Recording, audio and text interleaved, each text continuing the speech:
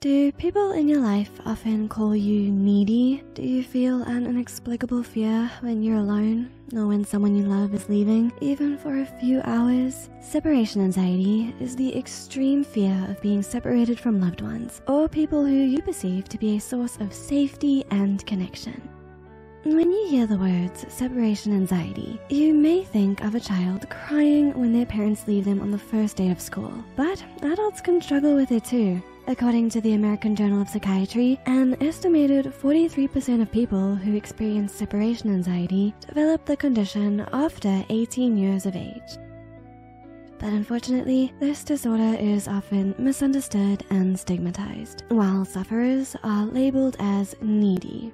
Here are five signs you're not needy, but suffering from separation anxiety. Number one, fear of being alone. Do you keep imagining scenarios in your head where your partner breaks up with you or your friends stop hanging out with you? Is being alone your worst nightmare? People with separation anxiety fear being alone the most. They might be afraid of loneliness even if they have a big group of friends, a loving family, and a healthy relationship. Their loved ones might assure them they're never alone, but the fear of abandonment is often stronger. It's important to note that this fear is different from the usual loneliness that everyone feels sometimes. When this uneasiness feels out of control or causes a lot of distress, it's a sign that it requires attention. This could mean that because of the fear of loneliness, you're overwhelmed with anxiety or panic attacks, unable to sleep, or unable to concentrate or do your daily activities. Where does this fear come from? Let's find out. Number two, depressive symptoms. Are you unusually depressed when you're home alone or when someone close to you is going away for a few days? If your symptoms worsen when you're separated or away from some people, it could mean you're having trouble handling loneliness. According to a study, adults with separation anxiety were measured to show higher levels of depression, higher stress, higher neuroticism scores, and greater impairments in daily life. Of course, having depressive symptoms doesn't have to automatically mean you're suffering from separation anxiety. So you should think about when those symptoms appear.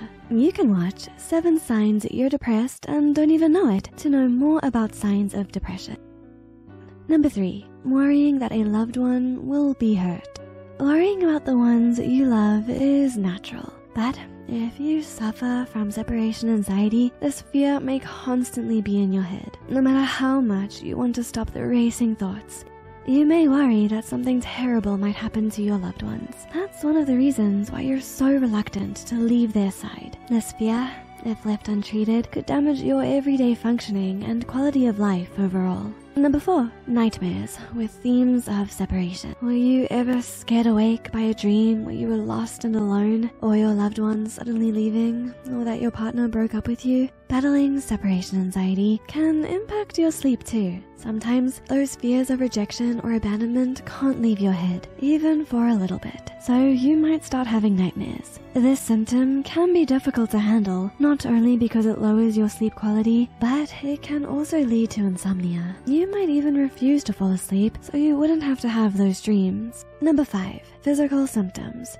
How do you feel physically when you need to be away from people you love? Do you feel physical pain like headaches or stomach aches? As a result of overwhelming stress, you may experience physical pain and even nausea and vomiting, dizziness, and lightheadedness. These symptoms could occur as a result of separating from others, making it hard for you to function normally. But why does this even happen? Several risk factors can contribute to separation anxiety. Life stresses or loss that resulted in separation, the illness or death of a loved one, loss of a pet, divorce of parents, moving, changing schools, or going away to study can be included in the causes for separation anxiety to emerge. A temperament that is prone to anxiety disorders, as well as extreme fear of abandonment, even if it's irrational, could stem from an insecure attachment style.